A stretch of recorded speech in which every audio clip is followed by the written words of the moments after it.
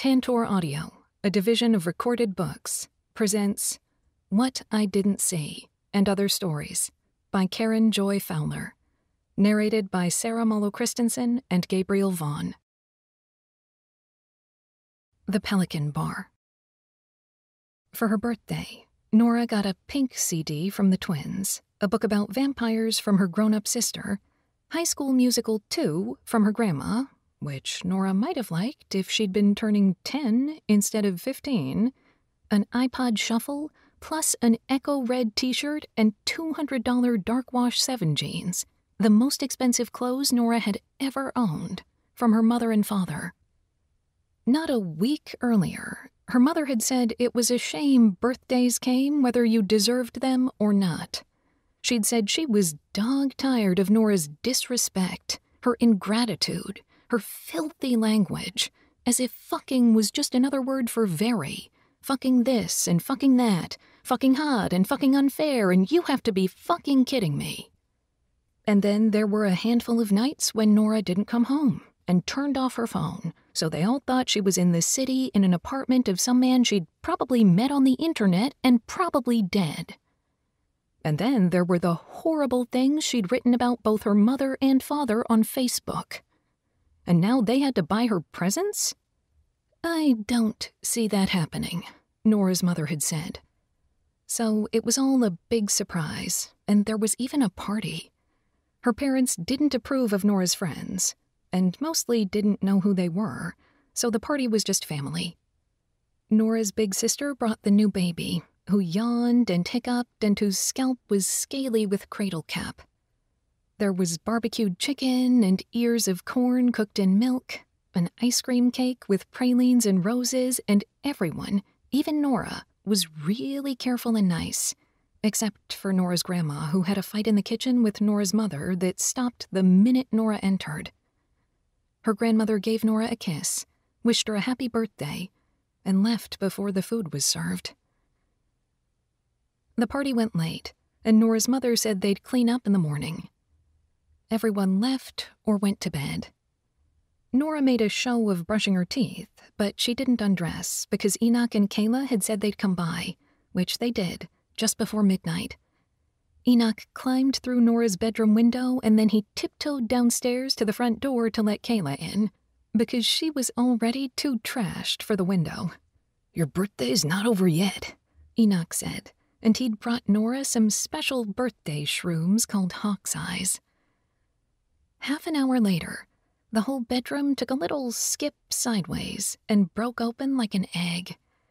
Blue light poured over everything, and Nora's Care Bear Milo had a luminous blue aura, as if he were Yoda or something. Milo told Nora to tell Enoch she loved him, which made Enoch laugh.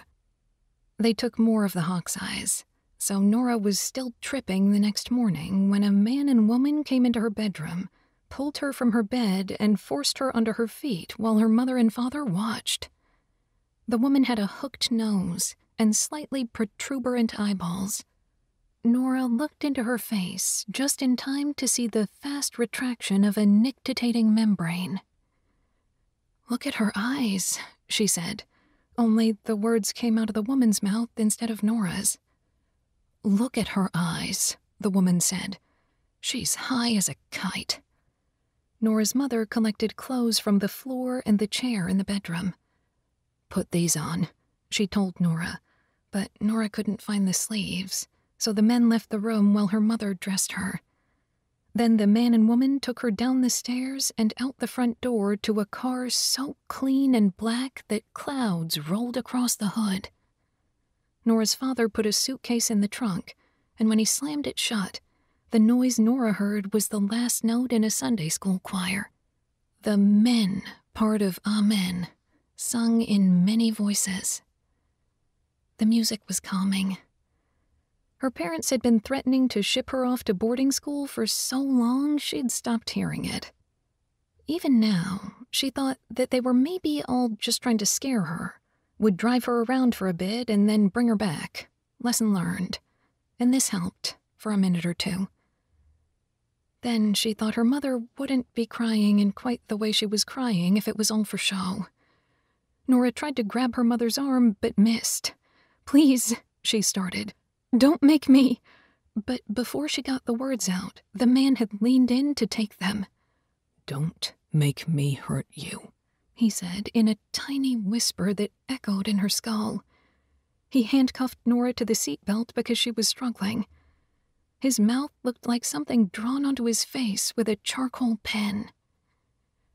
This is only because we love you, Nora's father said. You were on a really dangerous path. This is the most difficult thing we've ever done, said Nora's mother. Please be a good girl, and then you can come right home.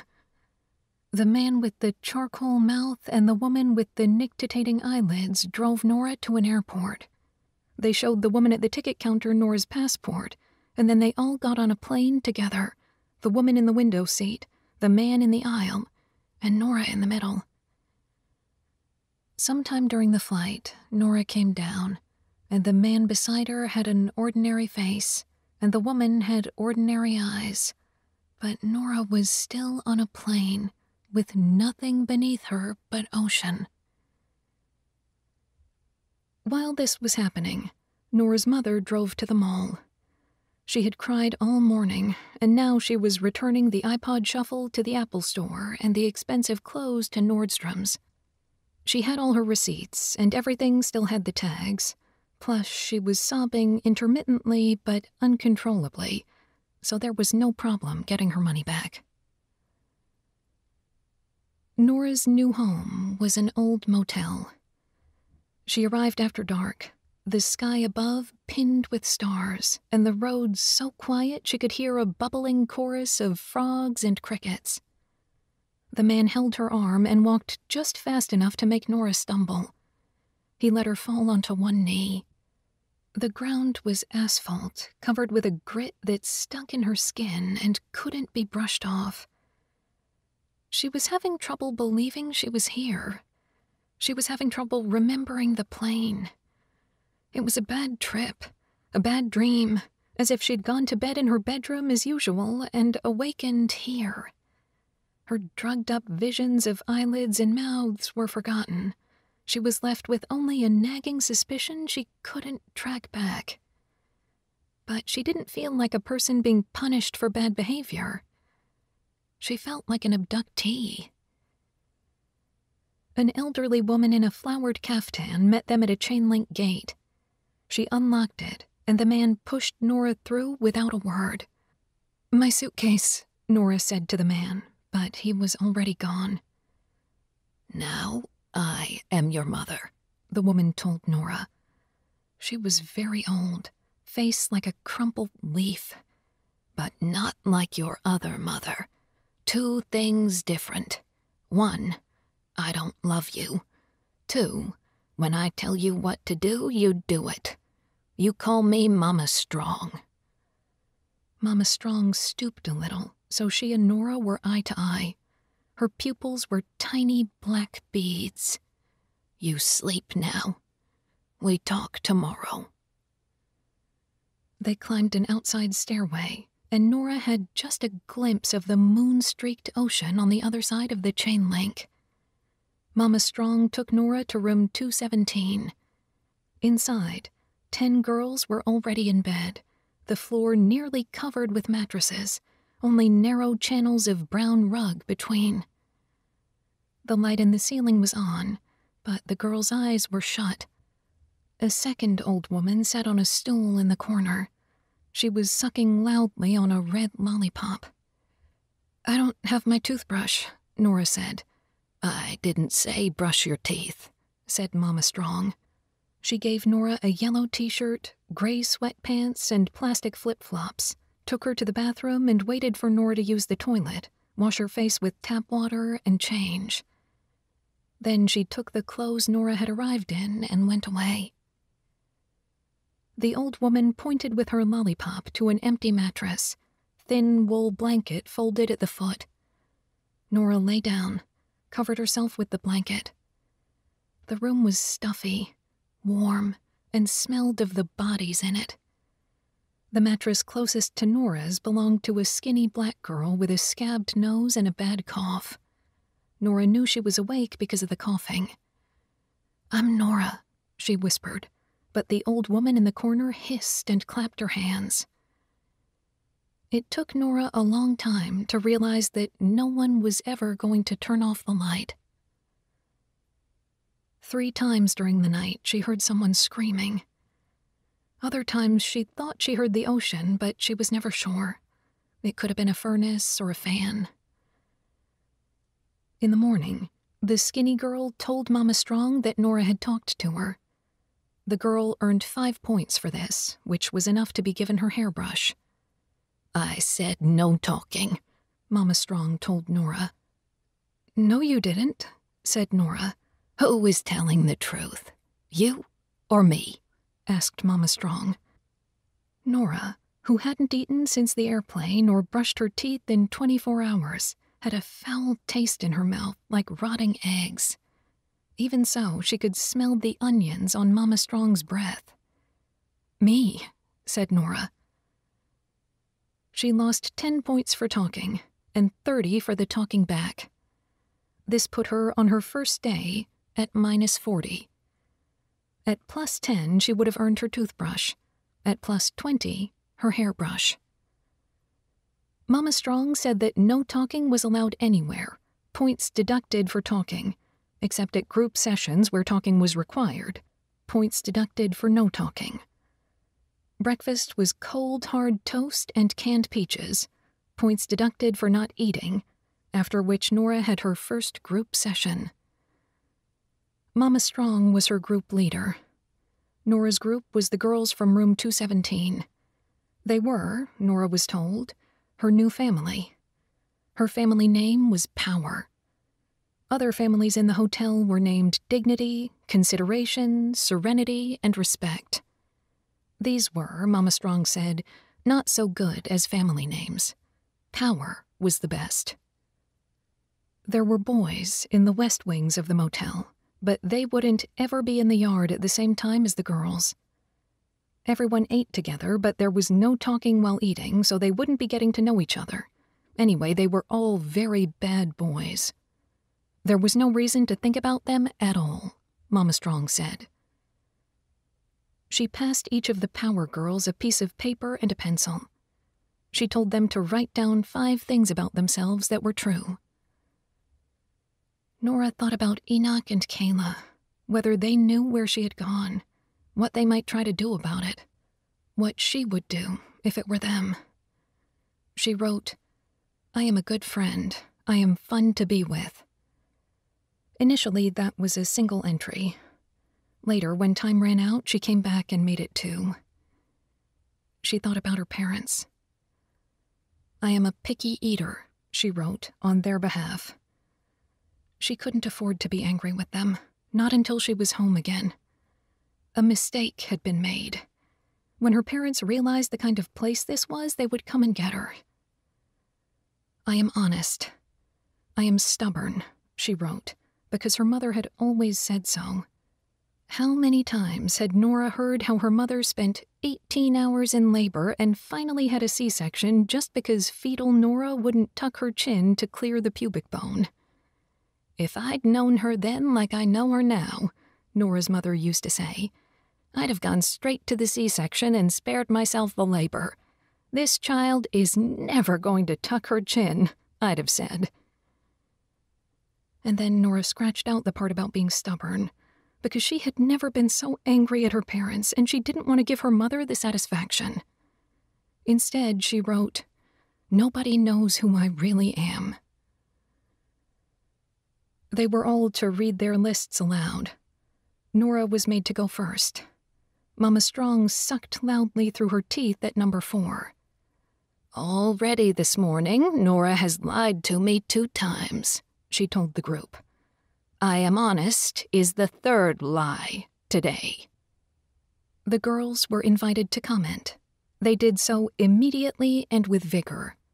Nora seemed very stuck on herself, said a white girl with severe acne on her cheeks and chin. A red haired girl with a freckled neck and freckled arms said that there was no evidence of Nora taking responsibility for anything. She agreed with the first girl. Nora was very stuck up.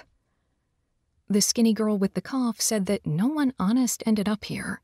None of them were honest, but at least she was honest enough to admit it. I'm here by mistake, said Nora. Lie number four. Mama Strong reached over and took the paper, her eyes like stones. I know who you really are, she said. I know how you think. You think, how do I get out of here? You never will. The only way out is to be different, change, grow. She tore up Nora's list. Only way is to be someone else completely. As long as some tiny place inside is still you, you will never leave. The other girls took turns reading from their lists.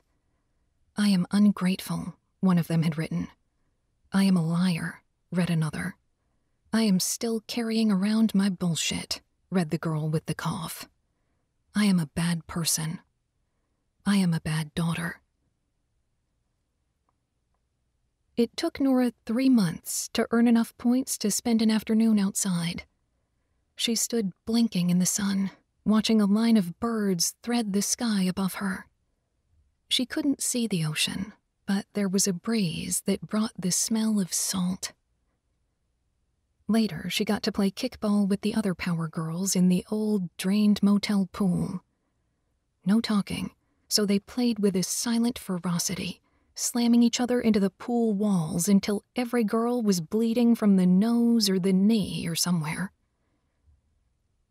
After group, there were classes. Nora would be given a lesson with a multiple choice exercise.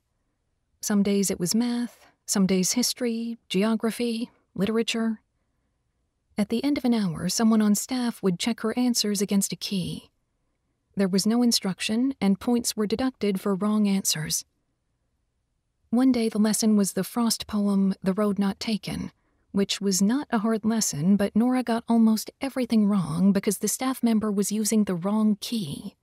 Nora said so, and she lost points for her poor score, but also for the talking.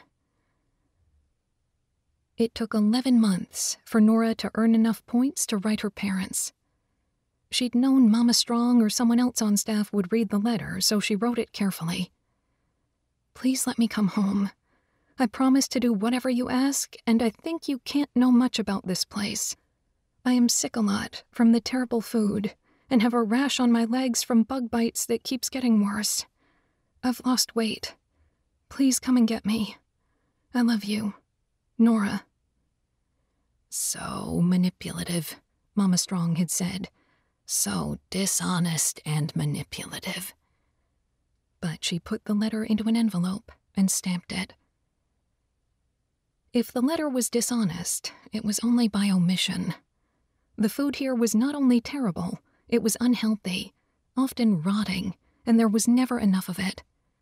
Meat was served infrequently, so the students, hungry enough to eat anything, were always sick after. No more than three minutes every three hours could be spent on the toilet. There were always students whose legs were streaked with diarrhea. There was no medical care. The bug bites came from her mattress. Sometimes someone would vanish. This happened to two girls in the Power family. One of them was the girl with the acne. Her name was Kelsey. One of them was Jetta, a relatively new arrival. There was no explanation. Since no one was allowed to talk, there was no speculation. Mama Strong had said if they earned a hundred points, they could leave. Nora tried to remember how many points she'd seen Kelsey get. Was it possible she'd had a hundred? Not possible that Jetta did. The night Jetta disappeared, there was a bloody towel in the corner of the shower. Not just stained with blood, soaked with it. It stayed in the corner for three days until someone finally took it away. A few weeks before her birthday, Nora lost all her accumulated points, 45 of them, for not going deep in group session. By then, Nora had no deep left. She was all surface, skin rashes, eye infections, aching teeth, constant hunger, stomach cramps. The people in her life, the ones Mama Strong wanted to know everything about, had dimmed in her memory, along with everything else school, childhood, all the fights with her parents, all the Christmases, the winters, the summers, her 15th birthday. Her friends went first, and then her family. The only things she could remember clearly were those things she'd shared in group. Group sessions demanded ever more intimate, more humiliating, more secret stories. Soon, it seemed as if nothing had ever happened to Nora that wasn't shameful and painful. Worse, her most secret shit was still found wanting, not sufficiently revealing, dishonest. Nora turned to vaguely remembered plots from after school specials until one day the story she was telling was recognized by the freckled girl. Emmeline was her name, who got 20 whole points for calling Nora on it. There was a punishment called the tap, the think again position. Room 303 was the tap room. It smelled of unwashed bodies and was crawling with ants. A student sent to tap was forced to lie face down on the bare floor. Every three hours, a shift in position was allowed. A student who moved at any other time was put in restraint. Restraint meant that one staff member would set a knee on the student's spine. Others would pull the student's arms and legs back and up as far as they could go and then just a little bit farther. Many times a day, screaming could be heard in room 303. For lying in group session, Nora was sent to the tap. She would be released, Mama Strong said, when she was finally ready to admit that she was here as a result of her own decisions. Mama Strong was sick of Nora's games.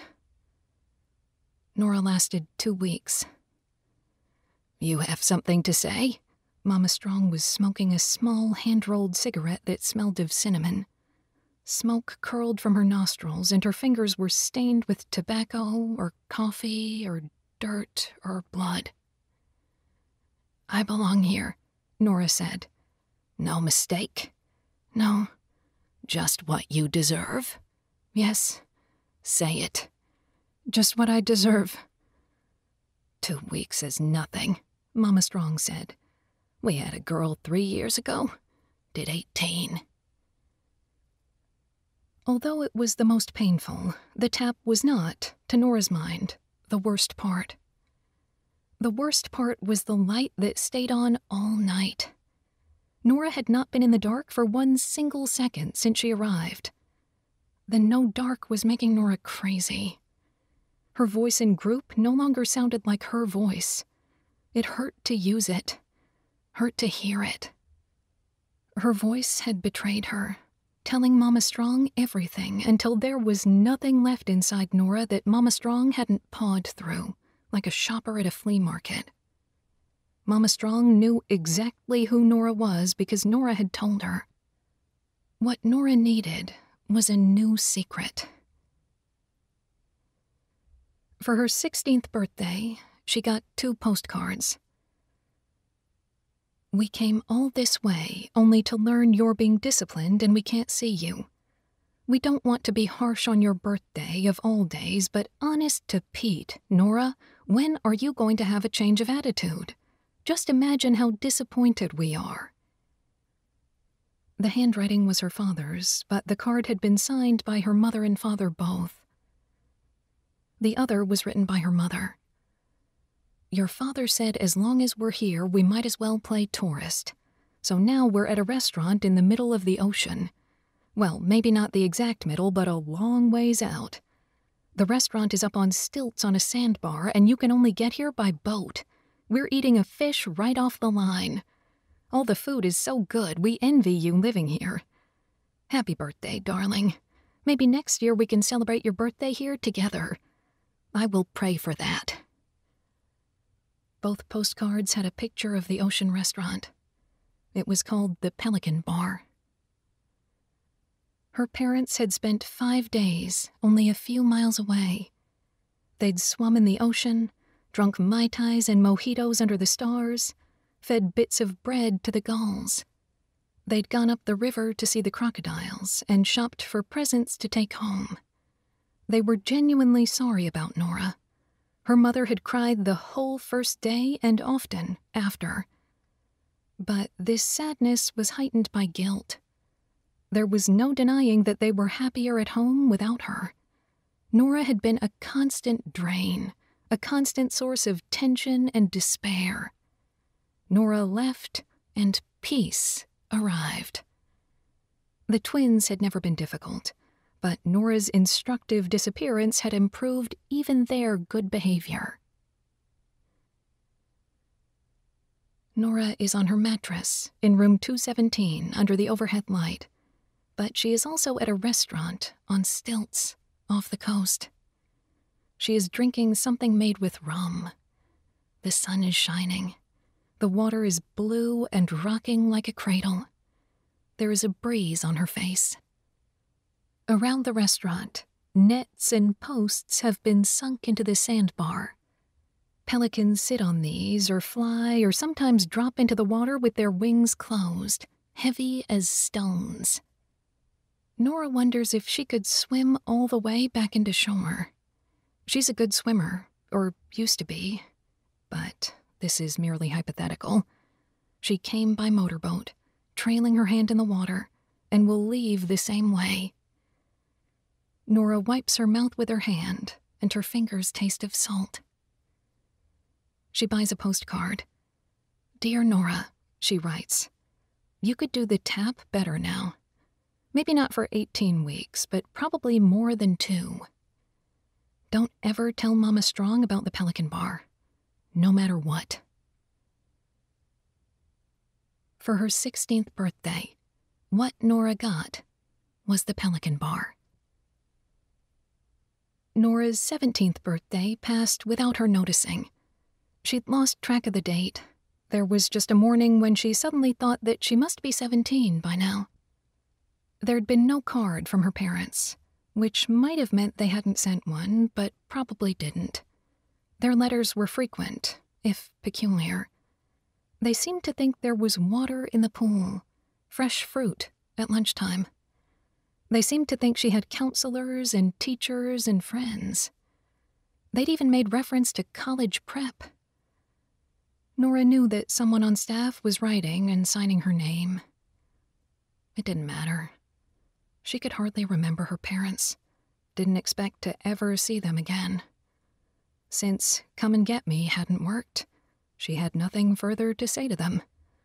Fine with her if someone else did. One of the night women, one of the women who sat in the corner and watched while they slept, was younger than the others, with her hair in many braids. She took a sudden dislike to Nora. Nora had no idea why. There'd been no incident, no exchange, just an evening when the woman's eyes locked onto Nora's face and filled with poison. The next day, she followed Nora through the halls and lobby, mewing at her like a cat. This went on until everyone on staff was mewing at Nora. Nora lost 20 points for it. Worse, she found it impossible to get to the Pelican Bar while everyone was mewing at her. But even without Nora going there, Mama Strong could tell that she had a secret. Mama Strong paid less attention to the other girls and more to Nora, pushing and prodding in group, allowing the mewing even from the other girls, and sending Nora to the tap again and again. Nora dipped back into minus points. Her hairbrush and her toothbrush were taken away. Her time in the shower was cut from five minutes to three she had bruises on her thighs and a painful spot on her back where the knee went during restraint. After several months without, she menstruated. The blood came in clots, gushes that soaked into her sweatpants. She was allowed to get up long enough to wash her clothes, but the blood didn't come completely out, and the sweatpants weren't replaced. A man came and mopped the floor where Nora had to lie. It smelled strongly of piss when he was done. More girls disappeared until Nora noticed that she'd been there longer than almost anyone in the Power family. A new girl arrived and took the mattress and blanket Kimberly had occupied. The new girl's name was Chloe. The night she arrived, she spoke to Norah. How long have you been here? she asked. Her eyes were red and swollen, and she had a squashed kind of nose. She wasn't able to hold still. She jabbered about her meds, which she hadn't taken and needed to. She rocked on the mattress from side to side. The new girl talked to me last night, Norah told Mama Strong in the morning. Chloe was a born victim, gave off the victim vibe. She was so weak, it was like a superpower. The kids at her school had bullied her, she said in group session, like this would be news to anyone. Maybe you ask for it, Emmeline suggested. Why don't you take responsibility, Norah said, instead of blaming everyone else? You will learn to hold still, Mama Strong told her, and had the girls put her in restraint themselves. Norah's was the knee in her back. Then Mama Strong told them all to make a list of five reasons they'd been sent here. I am a bad daughter, Norah wrote. I am still carrying around my bullshit. I am ungrateful. And then her brain snapped shut like a clamshell, so she couldn't continue. There is something else you want to say. Mama Strong stood in front of her, holding the incriminating paper two reasons short of the assignment, in her hand. She was asking for Norah's secret. She was asking about the Pelican Bar. No, said Norah. It's just that I can't think. Tell me. The black beads of Mama Strong's eyes became pinpricks. Tell me. Tell me. She stepped around Norah's shoulder so that Norah could smell the onion and feel a cold breath on her neck, but couldn't see her face. I don't belong here, Norah said. She was trying to keep the Pelican Bar. To do that, she had to give Mama Strong something else. There was probably a smarter plan, but Norah couldn't think of anything. Nobody belongs here, she said. This isn't a place where humans belong. You are human, but not me, Mama Strong said. Mama Strong had never touched Norah, but her voice coiled like a spring. She made Norah flinch. Norah felt her own piss on her thighs. Maybe so, Mama Strong said. Maybe I'll send you somewhere else then. Say you want that. Ask me for it. Say it, and I'll do it. Norah held her breath. In that instant, her brain produced the two missing reasons. I am a liar, she said. She heard her own desperation. I am a bad person. There was a silence, and then Norah heard Chloe say she wanted to go home. Chloe clapped her hands over her mouth. Her talking continued, only now no one could make out the words. Her head nodded like a bobblehead dog on a dashboard. Mama Strong turned to Chloe. Norah got sent to the tap, but not to Mama Strong's someplace else. After that, Mama Strong never again seemed as interested in Norah. Chloe hadn't learned yet to hold still, but Mama Strong was up to the challenge. When Norah was 17, the gift she got was Chloe. One day, Mama Strong stopped Norah on her way to breakfast. Follow me, she said, and led Norah to the chain link fence. She unlocked the gate and swung it open. You can go now. She counted out $50. You can take this and go. Or you can stay until your mother and father come for you. Maybe tomorrow, maybe next week. You go now, you get only as far as you get with $50. Norah began to shake. This, she thought, was the worst thing done to her yet. She took a step toward the gate, took another, she didn't look at Mama Strong. She saw that the open gate was a trick, which made her shaking stop. She was not fooled. Norah would never be allowed to walk out. She took a third step and a fourth. You don't belong here, Mama Strong said, with contempt, as if there'd been a test and Norah had flunked it. Norah didn't know if this was because she'd been too compliant or not compliant enough. And then Norah was outside, and Mama Strong was closing and locking the gate behind her. Norah walked in the sunlight down a paved road dotted with potholes and the smashed skins of frogs. The road curved between weeds taller than Norah's head, bushes with bright orange flowers. Occasionally, a car went by, driven very fast. Norah kept going. She passed stucco homes, some small stores. She saw cigarettes and moo for sale, large avocados, bunches of small bananas, liquor bottles filled with dish soap, posters for British ale. She thought about buying something to eat, but it seemed too hard, would require her to talk. She was afraid to stop walking. It was very hot on the road in the sun. A pack of small dogs followed her briefly and then ran back to wherever they'd come from. She reached the ocean and walked into the water. The salt stung the rashes on her legs, the sores on her arms, and then it stopped stinging. The sand was brown, the water blue and warm. She'd forgotten about the $50, though she was still holding them in her hand, now soaked and salty. There were tourists everywhere on the beach, swimming, lying in the sun with daiquiris and ice cream sandwiches and salted oranges.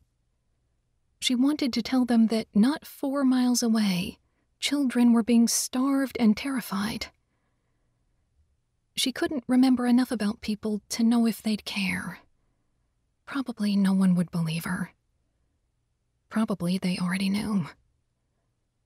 She waded into shore and walked farther. It was so hot, her clothes dried quickly. She came to a river and an open air market. A young man with a scar on his cheek approached her. She recognized him. On two occasions, he'd put her in restraint. Her heart began to knock against her lungs.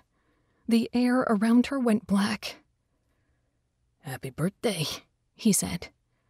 He came swimming back into focus, wearing a bright plaid shirt, smiling so his lip rose like a curtain over his teeth. He stepped toward her. She stepped away. Your birthday, yes? He said. Eighteen? He bought her some bananas, but she didn't take them. A woman behind her was selling beaded bracelets, peanuts, and puppies. She waved Norah over. True, she said to Norah. At 18, they have to let you go. The law says. She tied a bracelet onto Norah's wrist. How skinny Norah's arm looked in it. We hope you enjoyed this preview. To continue listening to this audiobook on Google Play Books, use the link in the video description.